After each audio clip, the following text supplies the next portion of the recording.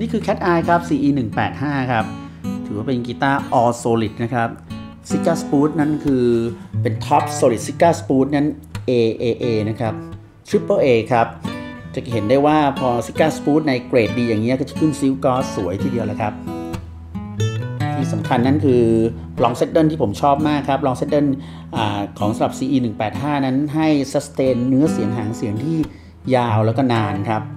สิ่งที่พิเศษมากก็คือ back side ที่เป็น Bolivian Rosewood ของ Cat Eye CE 185 นะครับปกติเราก็ทราบกันอยู่ว่าอยู่ใน Top Series ของกีตาร์แบรนด์ต่างๆนะครับ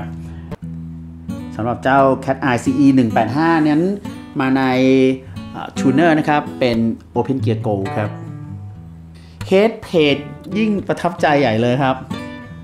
เป็นมงกุฎแบบอย่างนี้แหละครับ ทรงคุณค่าครับ Cat Eye CE 185 นั้น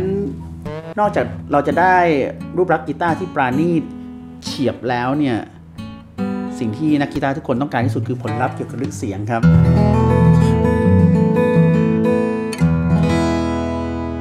สว่างเนาะไรท์โทนดีแบบอย่างนี้เขามีความรู้สึกว่า1เบสของ CE 185นั้น ไม่บวมเกินไปฮะ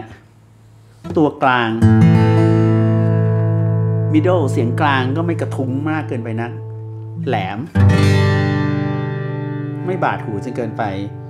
ก็กล้าที่จะพูดและยืนยันได้ว่า tone balance ที่ดีของอะคูสติกกีตาร์นั้นอยู่ใน Cat Eye CE 185ครับ